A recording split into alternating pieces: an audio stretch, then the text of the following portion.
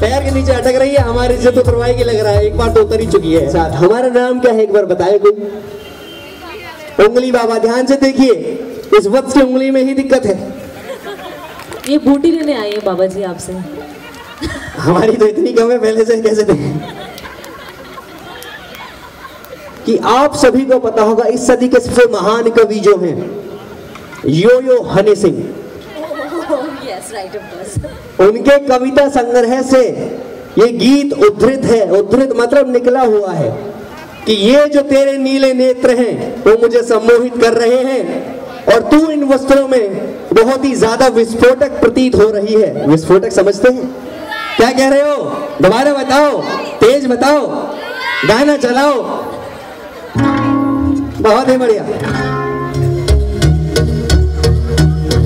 जिस प्रकार से हम कर रहे हैं, उसी प्रकार से करना है। नहीं करेंगे तो सांस कहीं से जाएगी, कहीं से निकल जाएगी। हमसे मत कहिएगा फिर। तैयारी है? कर रहे हैं? सांस खींचते हैं। छोड़ दीजिए।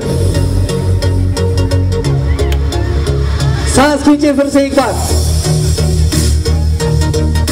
छोड़ दीजिए। आप लोगों में से कुल्फी कितने लोग खाते हैं? कुल्फी। सभी लोग खाते हैं? कुल्फी खाती हैं? नहीं खाती, कभी कभी खाती हैं। वह दिन याद कर लीजिए। जब कुल्फी खाते समय आपका दाहिना हाथ या फिर बायां हाथ कुल्फी के नीचे होता है तो हम इसे मोह कहते हैं। क्या कहते हैं? मोह। मोह। जब आप कुल्फी खा रहे होते हैं तो यह कुल्फी खाते हुए जब आप जल्दी जल्दी खाने की कोशिश करते हैं कि कहीं गिर ना जाए, कहीं गिर ना जाए, इसे लोभ कहते हैं लोभ अब आती है अगली परिभाषा। अगली परिभाषा कहती है कि आप जब खा रहे होते हैं कुल्फी और आपके सामने वाले की कुल्फी उसके हाथ में है और आपकी कुल्फी खाते खाते नीचे गिर जाए तो आगे वाले की कुल्फी को देखकर जो भाव मन में आता है उसे कहते हैं ईर्ष्या। अगली बात कुछ इस प्रकार है। को क्रोध हो गया लोभ हो गया मोह हो गया। इसके बाद आती है कुछ व्यापारी समाज की बात करने की। वह कुछ इस प्रकार है। जब आप अपनी दुकान का शटर गिरा देते हैं उसके बाद भी आप आगे बढ़ते हैं, ताला लगाते हैं, वापस जाते हैं। पीछे मुड़ते हैं, दोबारा जाते हैं, ताला लगाते हैं चेक करते हैं, इसे कहते हैं भय, यानी कि डर। कि कहीं ताला अटका तो नहीं रह गया, सर्दियाँ आ गई हैं तो सर्दियों में स्नान के प्रकार हम आपको बताते हैं। स्नान मतलब नहाना।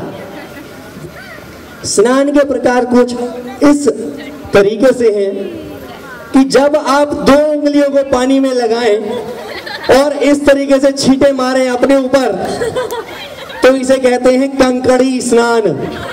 कंकड़ी पड़ रही है। जब आगे बढ़ते हैं, एक और स्नान का प्रकार है।